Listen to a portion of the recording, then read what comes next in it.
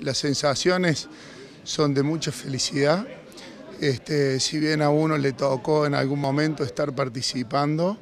eh, en la facultad, en la gestión y en la construcción de la misma, creo que ahora nos toca un rol distinto, un poco más, con más responsabilidades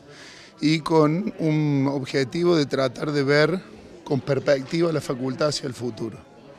¿Cuáles son las primeras acciones que se va a llevar a cabo desde esta eh, nueva conducción? Bien, yo creo que hoy en día tendríamos que, resaltar o, vale aclarar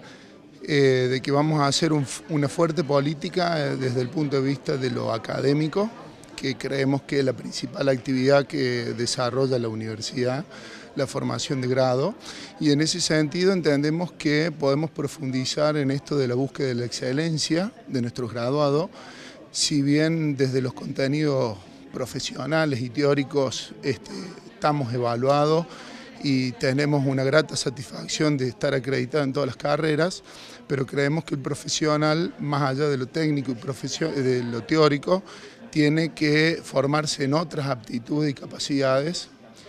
eh, para ser líderes, digamos, en, el mercado laboral. Y en ese sentido vamos a trabajar en los planes de estudios, en las asignaturas, en cuanto a lo que tiene que ver con metodologías de evaluación y de cursado.